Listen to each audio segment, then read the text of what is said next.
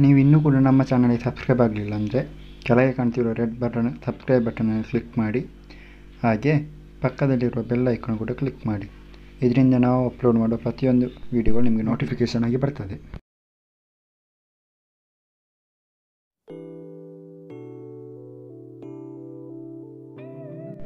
Black hole black hole ಬಗ್ಗೆ ನನಗೆ ಮೊದಲು ತಿಳಿಸಿದವರು ಜಾನ್ ಸಾವಿರದ ಏಳ್ನೂರ ಎಂಬತ್ತ್ಮೂರರಲ್ಲಿ ಇವರು ನಮಗೆ ಬ್ಲ್ಯಾಕ್ ಹೋಲ್ ಬಗ್ಗೆ ಮೊದಲಾಗಿ ತಿಳಿಸ್ತಾರೆ. ಅದಾದ ಮೇಲೆ ಪೀರ್ ಸೈಮನ್ ಅವರು ಸಾವಿರದ ಏಳ್ನೂರ ತೊಂಬತ್ತಾರರಲ್ಲಿ the system of the world ಎಂಬ ಪುಸ್ತಕದಲ್ಲಿ ಬ್ಲ್ಯಾಕ್ ಹೋಲ್ನ ಬಗ್ಗೆ ಉಲ್ಲೇಖ ಮಾಡಿದ್ದಾರೆ. ಬ್ಲ್ಯಾಕ್ ಹೋಲ್ ನಕ್ಷತ್ರದ ಕೊನೆಯ ಹಂತ. ಇದು ಅಧಿಕ ಗುರುತ್ವಾಕರ್ಷಣ ಶಕ್ತಿಯಿಂದ ಹೊಂದಿರ್ತದೆ. ಇದನ್ನು ಬ್ಲ್ಯಾಕ್ ಹೋಲ್ ಅಂತ ಕರೀತಾರೆ.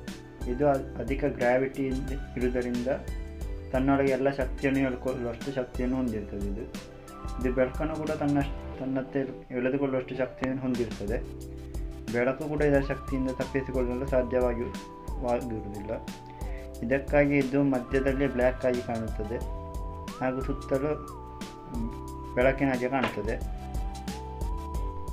ಮೊನ್ನೆ ಏಪ್ರಿಲ್ ಹತ್ತಕ್ಕೆ ಚಿದಂಬರ ರಹಸ್ಯವಾಗಿರುವ ಬ್ಲ್ಯಾಕ್ ಹೋಲ್ನ ಮೊದಲ ಚಿತ್ರವನ್ನು ವಿಜ್ಞಾನಿಗಳು ಯಶಸ್ವಿಯಾಗಿ ಫೋಟೋ ತೆಗಿತಾರೆ ಕೊನೆಗೂ black hole original photo April ಹತ್ತಕ್ಕೆ ಬಿಡುಗಡೆ ಮಾಡ್ತಾರೆ.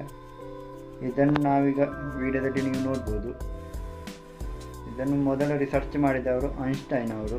ಗ್ರಾವಿಟಿ ಬಗ್ಗೆ ಎಕ್ಸ್ಪ್ಲೇನ್ ಮಾಡುವಾಗ ಅದರ ಒಂದು ಸಣ್ಣ ಮಾಹಿತಿಯಾಗಿ ಇದರ ಬ್ಲ್ಯಾಕ್ ಹೋಲ್ನ ಬಗ್ಗೆ ಎಕ್ಸ್ಪ್ಲೇನ್ ಮಾಡಿದ್ದಾರೆ. ಹಾಗೆ ಅದರ ಬಗ್ಗೆ ದೊಡ್ಡ ರಿಸರ್ಚ್ ಮಾಡಿ ಅದು ಇದೆ ಎಂದು ಬಲವಾಗಿ ತಿಳಿಸಿದ್ದು ಸ್ಟೀಫನ್ ಹಾಕಿನ್ಸ್ ಅವರು ಈಗಿಲ್ಲ, ಆದರೆ ಅವರ ರಿಸರ್ಚ್ ಈಗ ಸಕ್ಸಸ್ ಆಗಿದೆ. ಅದು ಎಲ್ಲಿ ಸಿಕ್ಕಿದೆ ಅಂತ ಕೇಳಿದರೆ, ಅದು ನಮ್ಮ ಗ್ಯಾಲಕ್ಸಿಯ ಎಂ ಏಯ್ಟಿ ಫೈ ಸೆವೆನ್ ಎಂಬ ಮಿಲ್ಕಿ ವೇದಲ್ಲಿ ಸಿಕ್ಕಿದೆ. ಇದನ್ನು ಕಂಡಿಡಿದ ವಿಜ್ಞಾನಿಗಳು ಅಣ್ಣ ಯಾರ್ಡ್ ವಿಶ್ವವಿದ್ಯಾಲಯದ ವಿಜ್ಞಾನಿಗಳು. ವಿಶ್ವದ ವಿವಿಧ ಭಾಗಗಳಲ್ಲಿರುವ ಎಂಟು ಅತ್ಯಾಧುನಿಕ ಟೆಲಿಸ್ಕೋಪ್ ಸಹಾಯದಿಂದ ಇದರ ಫೋಟೋಗಳನ್ನು ತೆಗಿತಾರೆ ಬ್ಲ್ಯಾಕ್ ಹೋಲು ಒಂದು ನಕ್ಷತ್ರ. ಇದು ನಮ್ಮ ಸೌರಮಂಡಲದಲ್ಲಿ ಹುಟ್ಟಿದ ಹಾಗೆಯೇ ಈ ಬ್ಲ್ಯಾಕ್ ಹೋಲ್ ಕೂಡ ಹುಟ್ಟುತ್ತದೆ ಆಗ ನಕ್ಷತ್ರಗಳು ಹುಟ್ಟಿ ಹಲವು ಜ್ಯೋತಿರ್ವರ್ಷಗಳ ಕಾಲ ಪ್ರಕಾಶಿಸಿ ಕೊನೆಗೆ ವಯಸ್ಸಾದಾಗ ಅದು ದೊಡ್ಡ ಮಾಸ್ ಆಗಿ ಆಗ್ತದೆ. ಇದರಿಂದ ಅದರಲ್ಲಿ ಅದರಲ್ಲಿ ಗ್ರಾವಿಟಿ ಪವರ್ ಹೆಚ್ಚಾಗ್ತಾ ಹೋಗ್ತದೆ. ಇದರ ಪವರ್ ಭೂಮಿಯ ಗ್ರಾವಿಟಿ ಪವರ್ಗಿಂತ ಟ್ರಿಲಿಯನ್ನಷ್ಟು ಹೆಚ್ಚಾಗಿರ್ತದೆ. ಇದರ ಹತ್ತಿರ ಯಾವ ವಸ್ತು ಹೋದರೂ ಕೂಡ ಬಿಡುವುದಿಲ್ಲ. ಲೈಟ್ ಹೋದರೂ ಕೂಡ ತಪ್ಪಿಸಿಕೊಂಡು ಬರಲಿಕ್ಕೆ ಆಗೋದಿಲ್ಲ ಅಷ್ಟು ಪವರ್ಫುಲ್ ಆಗಿರ್ತದೆ ಇದು. ಬ್ಲ್ಯಾಕ್ ಹೋಲ್ನ ಪವರ್ ಬ್ಲ್ಯಾಕ್ ಹೋಲ್ ಒಂದು ನೀರಿನ ಸುಳಿತ ಮೊದಲ ಅಗಲವಾಗಿದ್ದು ದೂರದ ಶಕ್ತಿಗಳನ್ನು ತನ್ನತ್ತ ಎಳೆದುಕೊಳ್ಳುವಷ್ಟು ಶಕ್ತಿ ಹೊಂದಿರ್ತದೆ ನಂತರ ಅದು ಕಿರಿದಾಗುತ್ತಾ ಹೋಗುತ್ತಾ ಕೊನೆಗೆ ಚಿಕ್ಕದಾಗಿ ಅಲ್ಲಿ ಅಂತ್ಯವಾಗ್ತದೆ. ಬ್ಲ್ಯಾಕ್ ಹೋಲ್ನಲ್ಲಿ ಸಮಯದ ಪರಿಲ್ಲ ಬ್ಲ್ಯಾಕ್ ಹೋಲ್ಗೆ ಆದ ನಂತರ ನಮಗೆ ವಿಶ್ವ ಅತ್ಯಂತ ವೇಗವಾಗಿ ತಿರುಗುವಂತೆ ಆಗ್ತದೆ. ಬ್ಲ್ಯಾಕ್ ಹೋಲ್ಗಳು ನಮ್ಮ ಗ್ಯಾಲಕ್ಸಿಯಲ್ಲಿರುವ ನಕ್ಷತ್ರಗಳ ಮೇಲೆ ಪವರ್, ಪ್ರಭಾವ ಬೀರುತ್ತದೆ. ಅಂದರೆ ಹೊಸ ನಕ್ಷತ್ರದ ಹುಟ್ಟಿಗೆ ಈ ಬ್ಲ್ಯಾಕ್ ಹೋಲ್ಗಳು ಕಾರಣವಾಗ್ತದೆ. ಅದು ಹೇಗೆ ಅಂತ ನಾವು ಮುಂದೆ ಹೇಳ್ತೇವೆ. ಬ್ಲ್ಯಾಕ್ ಹೋಲ್ ಹೇಗೆ ಹುಟ್ಟುತ್ತದೆ ಅಂತ ನಾವು ನೋಡೋದಾದರೆ ಬಿಗ್ ಬ್ಯಾಂಗ್ ಥಿಯರಿ ಪ್ರಕಾರ ನಕ್ಷತ್ರಗಳು ಹುಟ್ಟುತ್ತದೆ. ನಕ್ಷತ್ರದಿಂದ ಸೌರಮಂಡಲ ಹುಟ್ಟುತ್ತದೆ. ಹಾಗೆ ಗ್ಯಾಲಕ್ಸಿಗಳು ಹುಟ್ಟುತ್ತದೆ. ಗ್ಯಾಲಕ್ಸಿಯಲ್ಲಿ ನಕ್ಷತ್ರಕ್ಕೆ ವಯಸ್ಸಾದಾಗ, ದೊಡ್ಡದಾಗಿ ಅತ್ಯಂತ ಪ್ರಕಾಶಮಾನವಾಗಿರ್ತದೆ. ಸ್ಟಾರ್ಟ್ ಆಗ್ತದೆ. ಮತ್ತೆ ಅದು ಸಾಯ ಸ್ಥಿತಿಗೆ ಬರ್ತದೆ.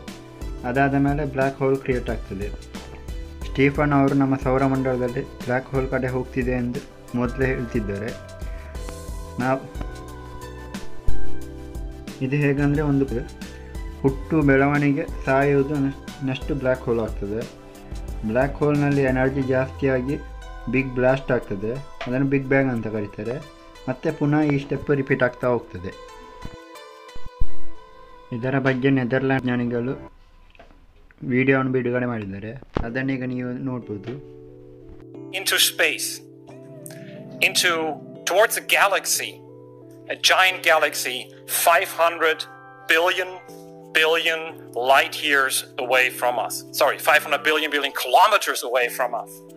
Very big galaxy with which was suspected to host a supermassive black hole in the very center.